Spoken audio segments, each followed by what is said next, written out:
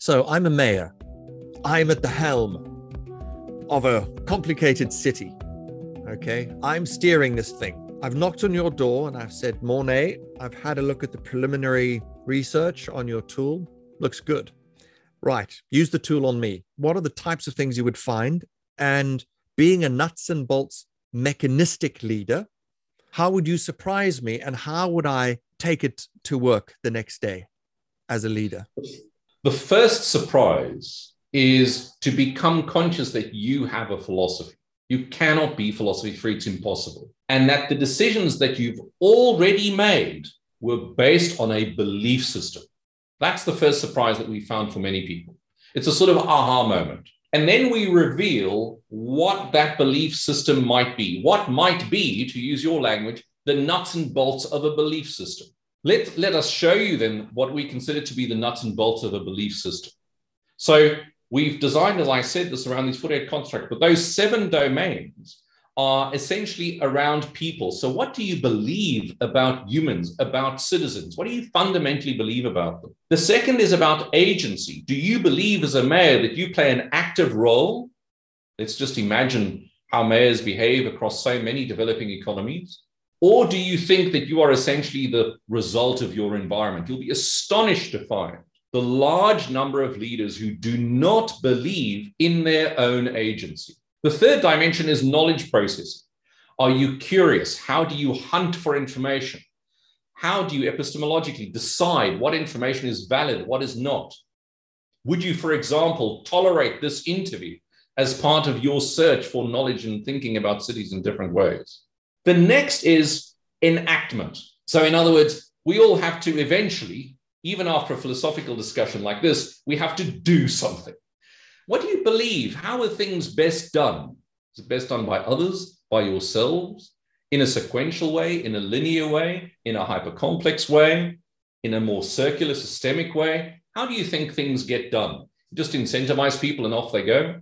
Another dimension there is what we call the growth model. So, how do you think about growth? Do you think there's just infinite growth, just keep going? Are you thinking more in terms of balance?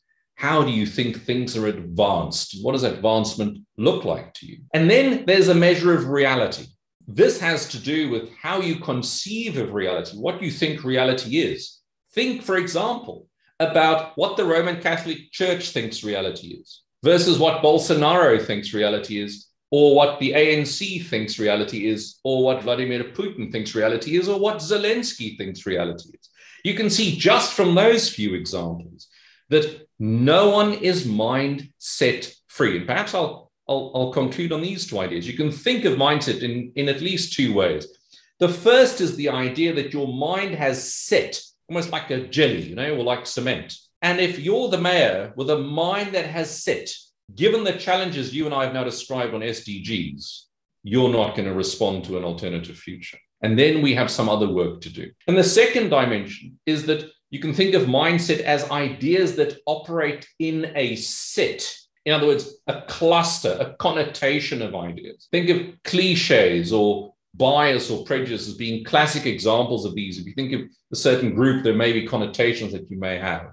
So, what the mindset index does is it reveals these paradigms, in other words, these patterns of thought that occur again and again and again as an insight into both your own mindset and the mindset of the stakeholders around you. And then you can consider complementarity and you consider the implications of what this will mean for the kind of strategic decisions you make. So the outcome for me would perhaps be firstly some data based introspection and realizing mm. that I do have a mindset and what that mindset is. Mm. Secondly, it would reveal to me how well or not well that mindset fits the world I'm actually in. And thirdly, it would give me tools to make better decisions as a leader in the in the world I'm actually in, as opposed to this industrial machine which I thought I was in.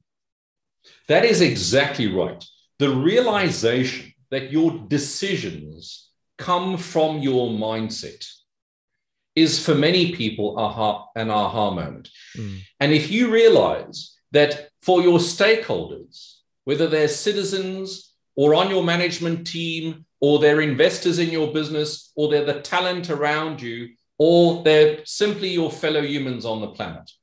The realization that those citizens also are not mindset free. They have paradigms. They have ways of conceiving about conceiving the world, and you can engage with those mindsets in an appreciative way. Well, that means your strategic decisions are no longer blind ego.